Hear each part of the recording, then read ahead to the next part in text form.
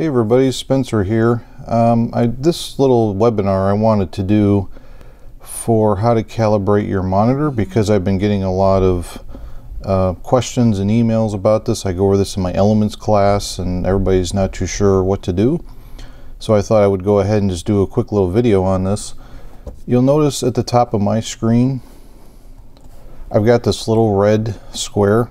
That's the software that I'll show you here in a minute is telling me that it's out of calibration. My four weeks is up, so I do mine every four weeks. So it's basically telling me I need to do it. So that's why I kind of wanted to do this while it needed to be done. So you guys could see exactly how to do it. Now I'm using the i1 Display Pro from X-Rite. The other company is uh, Datacolor. They have a, what's called a Spyder. You can use that as well. But I just wanted to show you exactly what I'm using. So if I go here to Products, i1 Solutions, i1 Display Pro. Now, I've used this for a few years, not had any problems with it. I'm running obviously on the Mac. It'll work on the PC as well. But basically, this is going to calibrate your monitor, whether it's a desktop monitor or a laptop. I'm actually doing this on my 15-inch MacBook Pro. And this also has a little lens in it, so it's going to check to see. Uh, this is actually what's going to look at the monitor the physical glass to see if it, you know what's going on. This will also do projectors, so if you're going to be part of a club or photo club, anything like that, and you're going to have to judge photos, and you need to make sure that they are correct, then in that case, you want to definitely make sure that the projectors are calibrated or else the judges may not see the accurate color. All right, so now we're going to go to the actual calibration. So I'll show you how that works. We're going to walk through this. I'm going to go ahead and um, all you need to do is come up here to this little square or you can go to the actual um, actually I don't have it loaded in my dock right now. It's in my applications folder so you could usually go to go applications or if you're on the PC you can go to your C drive and then to your programs folder. But what's nice and up here on Mac they put it on top. If you're on, on Windows they put it down here in the bottom in your tray is if you just click on the little red the little red square, you can go down here to launch i1 Profiler. That's the actual software once you have it installed. All right, so this is the software. Over here, you've got all these different things you can do. Now, if it says demo, that means probably that the device is not plugged in or you don't have this, uh, you didn't buy the, what they do is they give you the software for like the three and four thousand dollar tools and then whatever device, the actual hardware piece you buy, unlocks certain features of the software, if that makes sense. So down here you see it says licensing, and I got all these question marks. So I'm actually going to plug in that device in my USB port here, and that should unlock it once it recognizes it here.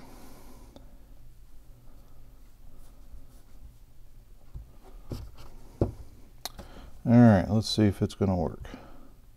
There it goes. Okay, so you can see it's green and it's going to allow me to do these three things here. Um, these it will not allow me to do because obviously I don't have that capability with this particular product.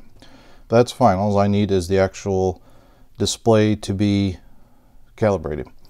So all I'm going to do is I'm going to come up here to display profiling. All right, now when you start looking at this, it looks more like a you know scientific schematic, and that can be little little interesting. So I'm, we're going to walk through this. Let me zoom in on the screen here. All right.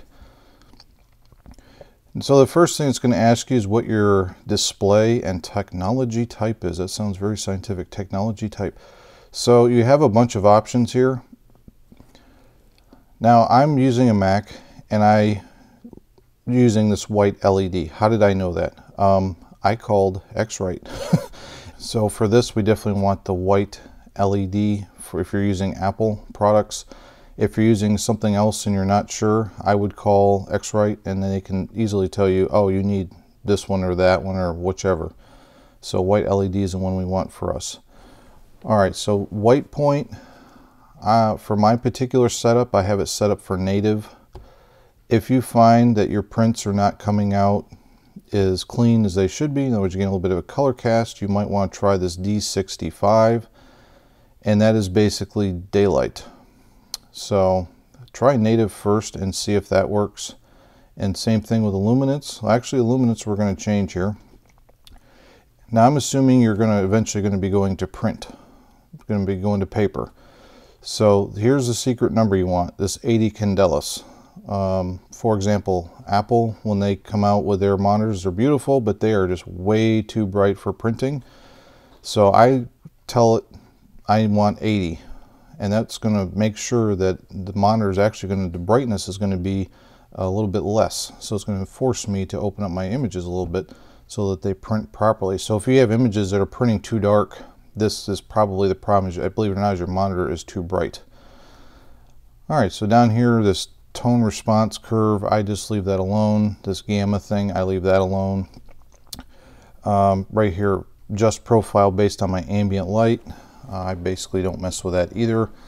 And my computer, my workstation is kind of near a window, but the window is a little, is a little bit away, so it shouldn't be a problem. If you're working literally right next to a window or something like that, it might give you a problem. So you might need that. All right, so I'm gonna go ahead and click down here. We got the house, which is home, or the next one is next. Next one is next. There you go. Yep, get back here. All right, so now we've got, it's just telling you the instrument that you have is this i1 Display Pro. Then down here, if you, like for example, again, I'm working on my Apple laptop. It has its own brightness and contrast settings. So I'm to let i1 figure out how to adjust it to get that 80 candelas for me. If you don't have this set up, you can do the manually option and then just use your buttons on your physical monitor. But since this is all built in, I can let it do it. All right, over here's the patches. So you'll see they're all solid colors right now. These are actually all the colors that it's going to going to go ahead and measure. And then down here, you've got this button that says start measurement and they're pretty good. So this is all step by step. They tell you exactly what what you need to do. So here it's telling me I need to actually flip this little flip, uh, plastic piece around. So I'm gonna go ahead and do that. And once you do that it takes you to the next screen. It's basically saying okay put this on your monitor and make sure that it's sitting flat on the screen. So obviously you guys can't see this but I'm place that gizmo right on the right on the monitor like so. And once that's done you can click OK and then you just go over here, we're going to click Next in this box. So what's going to do first is it's going to, you're going to see the screen's going to get brighter, darker, um, shades of gray, all this kind of good stuff. And basically it's trying to hit that 80 candelas for us. This is that automatic display control, which is nice. Once it's done with this, it's going to start flashing colors. Uh, it, it used to be like 300 patches. Now it seems like they're giving us less and less. Must be the technology that they're using is getting better and better. So, you know, let's say this is maybe 50 patches or something like that. Um, but as you can see now, it's going to start sh showing us the different shades of color. So it's checking to make sure that the proper red that it's showing is the red that the monitor is showing is going to match up with the database profiles. If it's not, it's going to create a little um, a, a, little adjustment and it's going to, and all this is all going to be wrapped up into what they call a display profile, which you're going to see how to save here in a minute. So this takes roughly two minutes. It's not, you know, it's not going to take forever. So you could actually set this up, you know, go get you a cold drink and then come back and then it'll be finished ready for the next step. So I'll go ahead and I'll pause this and then we will come back when it's all done. Okay, so we're back and the process is finished. And now it's basically telling us to go ahead and take this off of our screen. And we're going to flip that piece of plastic around. So we'll go ahead and we'll do that real quick. All right. And now it's just saying, you know, if you're going to do the ambient um, ambient measurement, you can just leave this right next to right next to the computer. So we're going to skip that because we're, we're not doing that today. All right, so if you look at our patches, you'll see that they're kind of divided in half and one looks different than the other on each of these little squares. I'll zoom in on this. So the one side is the original and then the other side is what the monitor was actually showing. So you can see how far off this was. So that's a good thing we're doing this. So if I come down here, I'm just going to click on next. Now it's going to come up with a name. In this case, file name is set to color LCD on mine. I don't change this because, well, you'll see why in a second. Now down here where it says uh, profile distribution, in this case, um, it does not allow me to put it system because I'm the only administrator on this computer. So I just do user level, that's fine. Profile reminder, now you have a bunch of choices in here. I'm assuming for you know us average people nobody's doing commercial printing out there. If you are you might want to do one week but if you're uh, just a photographer and you're just you know doing photography and you're not in commercial printing then choose four weeks. So you want to do this at least once a month because these monitors they do drift and shift over time. So at least every four weeks do it. All right so this ambient uh, monitoring mode I'm just going to leave that off.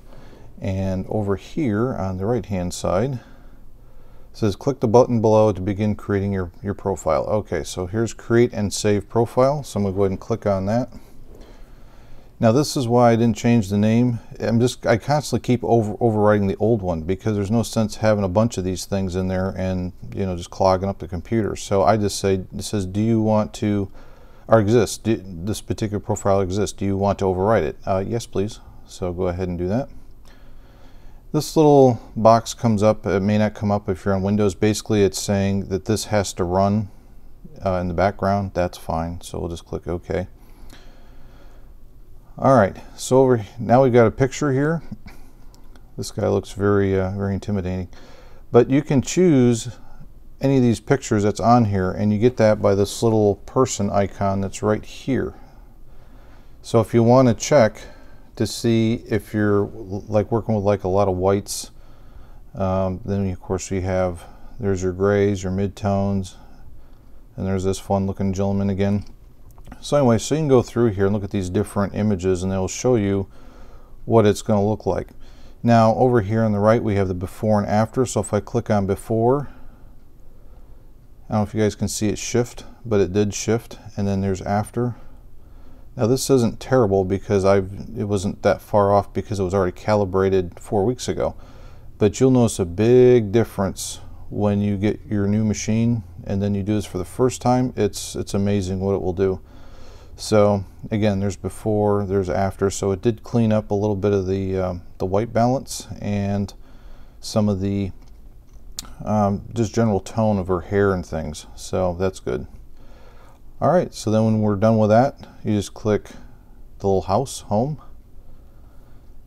and that's it. So then you can go ahead and quit out of this, but you will notice before we do, it's happy again because our square is now green. And it will stay green for the next four weeks until it's time to do it again. Then it will turn red, letting you know that it needs to be done again. So that's really all there is to it. It's not too bad once you do it a couple times. It's pretty, uh, it goes pretty quick. Again, it only takes you about um, two, two minutes of your life a month.